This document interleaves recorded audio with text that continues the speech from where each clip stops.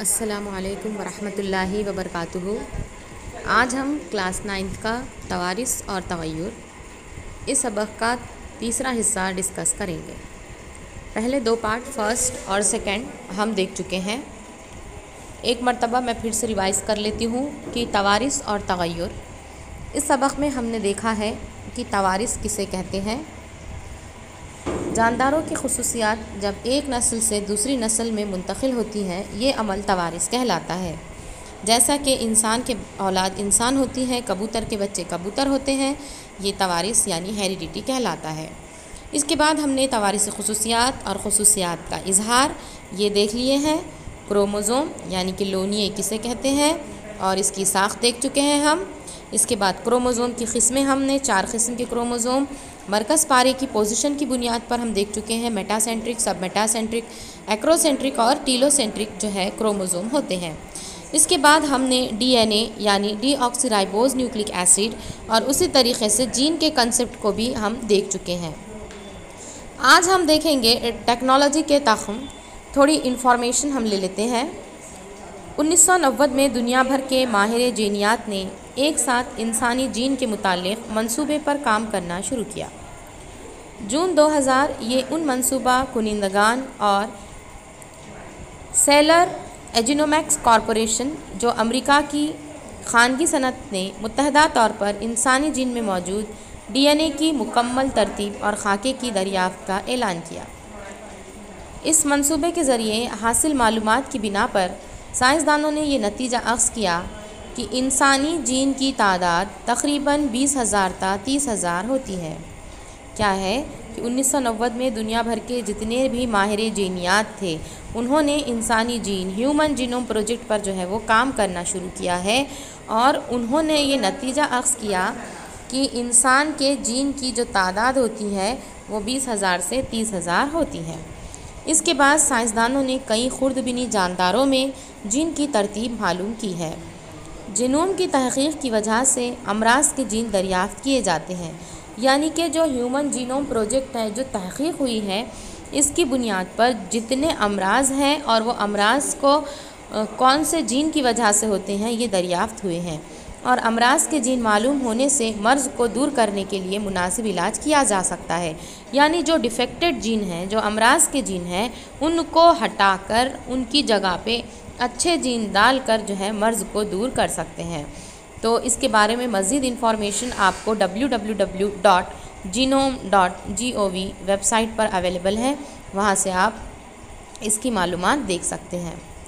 अब जैसा कि हमने डीएनए जो है ये देख चुके हैं कि DNA deoxyribose nucleic acid होता है, दोहरा मरगुला होता है इसमें चार nitrogenous bases adenine guanine thymine cytosine होते हैं। एडेनाइन थाइमाइन के साथ डबल बॉन्ड में दोहरी बंदिश में होता है, जबकि गोएनाइन साइटोसाइन के साथ तहरी बंदिश में होता है। इस तरीके से आप लोगों को स्ट्रक्चर भी नज़र आ रहा है। आज हम देखेंगे आरएनए के बारे में, जो दूसरा एक अहम न्यूक्लिक एसिड है। पहला न्यूक्लिक एसिड कौन है? डीएनए है। दूसरा न्यूक्लिक एसिड कौन है? आरएनए है। आरएनए का फुल फॉर्म है राइबोज न्यूक्लिक एसिड। आरएनए खलिए में पाया जाने वाला दूसरा अहम एसिड है। ये एसिड राइबोज शुगर, फॉस्फेट के सालेमात और गोनाइन साइटोसाइन, एडेनाइन और यूरासिल, इन चार नाइट्रोजनी मादों से बनता है। याद रखें, आरएनए किस चीज़ से बनता है? राइबोज शुगर से, फॉस्फेट के सालेमात से और इसमें भी चार नाइट्रोजनी मादे हैं, एडेनाइन गोनाइन साइटोसाइन और यूरासिल। याद रखें डीएनए में एडेनाइन गोएनाइन थाइमाइन साइटोसाइन था। यहाँ पर थाइमाइन की जगह पर यूरेसिल होता है। राइबोस शक्कर फॉस्फेट का सालिमा और एक नाइट्रोजनी मादे का सालिमा मिलकर न्यूक्लिक एसिड की जंजीर की एक कड़ी, यानी न्यूक्लियोटाइड बनती है। ऐसी कई कड़ियाँ जुड़कर आरएनए का बड़ा सालिमा तैयार होता है। तो यहाँ पर अफ़ाल की बिना पर आरएनए तीन किस्म के होते हैं, जैसा कि आपको शक्ल में नज़र आ रहा है। देखिए तीन किस्म के आरएनए कौन से हैं? M R N A R R N A T R N A कौन से हैं? M R N A R R N A T R N A M R N A यानी messenger R N A R R N A यानी ribosomal R N A और T R N A यानी कि transfer R N A full form याद रखें M R N A messenger R N A R R N A ribosomal R N A और T R N A यानी कि transfer R N ए अब M R N ए के बारे में देखेंगे। खलिए के मरकज़े में मौजूद जीन में यानी डी एन ए की जंजीर पर पाई जाने वाली प्रोटीन की तैयारी के ताल्लुक से इत्तला प्रोटीन तैयार करने वाले राइबोसोम तक ले जाने वाले ये मैसेंजर आरएनए कहलाते हैं।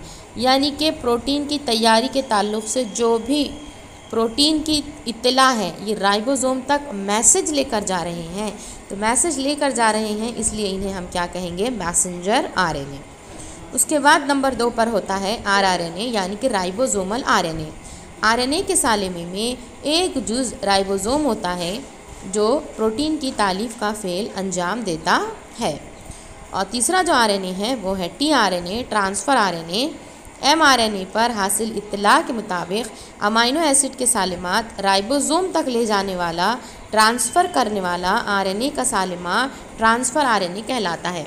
अब इसकी जो डिटेल है आपको, M R N A, R R N A, T R N A का function, transcription, translation, D N A से एम आर एन ए का बनना, एम आर एन ए से जो है किस तरीके से वो न्यूक्लियस के बाहर जाता है, प्रोटीन सिंथेसिस कैसी होती है, central dogma of protein synthesis, ये आपको अगली क्लास में जो है, टेंथ क्लास में पार्ट सेकेंड में आप लोगों को दिया गया है। तो अभी आप लोग जो है, सिर्फ़ आरएनए के तीनों टाइप, उनका फुल फॉर्म और उनके अफ़ाल याद रखें।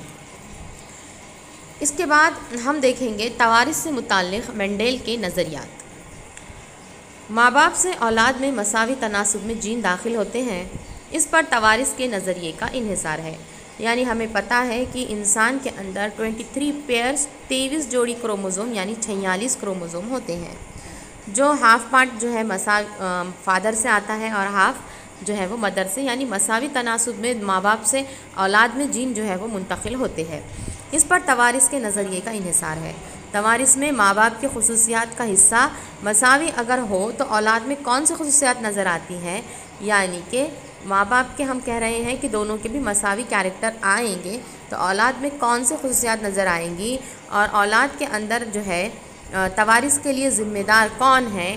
तो इसके जो नज़रियात हैं, इसके मुतालिक जो तहकीक है, ये पेश करने वाले जो साइंसदान हैं, उनका नाम है मेंडेल, ग्रिगोर जॉन मेंडेल। तकरीबन एक सदी कबल किए गए ये तजुर्बा ताजुब खैज़ है। मेंडेल ने अपने तजुर्बात जो है, ये मटर के पौधे पर किया था। मटर का पौधा, जिसे हम पी प्लांट कहते हैं। इसका बोटैनिकल नेम होता है पाइसम सटाइवम। बोटैनिकल नेम क्या है? पाइसम सटाइवम, जिसमें पाइसम जो है ये जीनस है और सटाइवम जो है वो स्पीसीज़ है। तो मटर के पौधे में नज़र आने वाली खसूसियात की बुनियाद पर उन्होंने जो खसूसियात यहाँ पर बताई थी, जो तजुर्बात उन्होंने किए थे, वो तजुर्बात हमें यहाँ पर देखने हैं। तो सबसे पहले हम इनका तारुफ देख लेते हैं। ग्रिगोर जॉन मेंडेल 22 जुलाई 1822 में इनकी पैदाइश हुई है और 6 जनवरी अठारह सौ चौरासी में इनकी वफ़ात हुई। ग्रिगोर जॉन मेंडेल ऑस्ट्रियाई साइंसदान थे। उन्होंने मटर के पौधे पर तजुर्बात करके इसमें मौजूद कुछ खसूसियात के तवारिस का मुताल किया।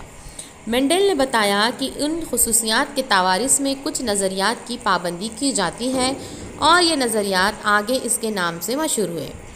मेंडेल के ज़रिए किए गए काम की अहमियत को जानने तक बीसवीं सदी आ पहुँची। इन नज़रियात की दोबारा जाँच के बाद आज जो भी तजुर्बे उन्होंने किए थे, उसकी बेसिस पे आज जदीद जेनेटिक्स जो है, जो जेनेटिकल साइंस जो है, ये मेंडेल के तजुर्बों की बुनियाद पर ही हमें जो है वो यहाँ पर हमारे पास पहुँची है अब देखिए यहाँ पर इंसान के अंदर जो खसूसियात किसी के अंदर जो ज़ाहिर होती है, इसे हम गालिब खसूसियात कहते हैं।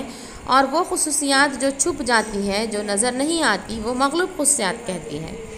जैसा कि मुड़ने वाली ज़बान ये गालिब खसूसियात है ना मुड़ने वाली ज़बान ये मगलूब खसूसियात है। गालिब को हम डोमिनेंट कहते हैं, मगलूब को हम रेसेसिव कहते हैं। हाथों पर बालों का पाया जाना ये गालिब खसूसियात हैं और हाथों पर बालों का ना होना ये मगलूब खसूसियात है। सियाह और घुंघरियाले बाल होना ये गालिब खसूसियात है, जबकि भूरे और सीधे बाल होना ये मगलूब खसूसियात है। कान का जो हिस्सा है, आज़ाद हाशिया है, वो गालिब खसूसियात है, लेकिन किसी किसी का कान चिपका हुआ होता है, उसका हाशिया चिपका हुआ होता है, ये मगलूब खसूसियात है। तो यहाँ पर आप लोगों को जो चार्ट दिया गया है, ये इंपॉर्टेंट चार्ट है, जिसके अंदर मेंडेल ने मटर के पौधे के अंदर सात किस्म के कैरेक्टर सात मुखालिफ नज़र आने वाले खसूसियात जो हैं, वो बताई थी, जिसे हम सेवन ट्रेट्स कहते हैं। और इसकी बुनियाद पर ही उन्होंने तजुर्बात किए हैं। तो उन्होंने मटर के पौधे की कौन से खसूसियात को देखा है? बीज की शक्ल, बीज का रंग, फूल का रंग फली की शक्ल फली का रंग, फूल का मुकाम और पौधे की ऊंचाई, ये सेवन कैरेक्टर्स उन्होंने लिए थे। अब बीज की शक्ल, देखिए, किसी के मटर के पौधे के जो बीज होते हैं, वो गोल होते हैं, किसी के झुर्रीदार होते हैं। तो गोल, ये गालिब खसूसियात हैं, जबकि झुर्रीदार, ये मखलूब खसूसियात हैं। गोल को हम राउंड कहते हैं, जिसे कैपिटल आर से ज़ाहिर करेंगे। झुर्रीदार को हम रिंकल्ड कहते हैं, इसे हम स्मॉल आर से ज़ाहिर करेंगे। याद रखिए, गालिब खसूसियात हमेशा कैपिटल लेटर से रहती है और मगलूब खसूसियात हमेशा स्मॉल लेटर से होती हैं। गोल यानी कि राउंड तो कैपिटल आर, झुर्रीदार है, रिंकल्ड है यानी स्मॉल आर। बीज का रंग, जर्द यानी येलो है तो कैपिटल वाई। सब्ज़ है, ग्रीन है, इसलिए स्मॉल वाई। देखिए बच्चे, यहाँ पर ये गलतियाँ करते हैं कि येलो है तो कैपिटल वाई करते हैं और ग्रीन है तो स्मॉल जी करते हैं। जी नहीं करना है। इधर कैपिटल वाई है तो इधर स्मॉल वाई है। फूल का रंग जामुनी है, यानी कि कलर्ड यहाँ पे बताया गया है। तो कलर्ड को सी से ज़ाहिर करेंगे और वाइट कलर जो है ये मगलूब है तो इसे स्मॉल सी से ज़ाहिर करेंगे। फली की शक्ल पूरी भरी हुई फली है, इसे हम इन्फ्लेटेड कहेंगे आई से ज़ाहिर करेंगे। और चपटी है, यानी कि कंस्ट्रिक्टेड है, इसे हम स्मॉल आई से ज़ाहिर करेंगे। फली का रंग ग्रीन है, सब्ज़ है, ये गालिब है कैपिटल जी से ज़ाहिर करेंगे। और जर्द है येलो है, यानी हम स्मॉल जी से ज़ाहिर करेंगे। फूल का मुकाम बगली है, यानी एक्सियल होता है, इसलिए हम कैपिटल ए से ज़ाहिर करते हैं। राशि यानी कि टर्मिनल है, इसे हम स्मॉल ए से ज़ाहिर करते हैं। पौधे की ऊंचाई ऊँचा है, यानी कि टॉल है, हम टी से ज़ाहिर करेंगे। और बोना है, यानी कि डॉर्फ है, इसे हम स्मॉल टी से ज़ाहिर करेंगे। इस तरीके से ये सात मुखालिफ नज़र आने वाली खसूसियात हमें यहाँ पर नज़र आ रही है।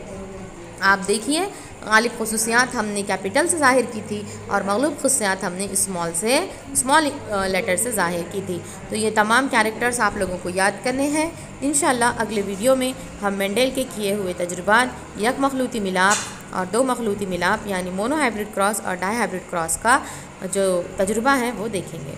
तो आप इस वीडियो को बार बार देखिए और इसके नोट्स तैयार कीजिए। अल्लाह हाफिज़।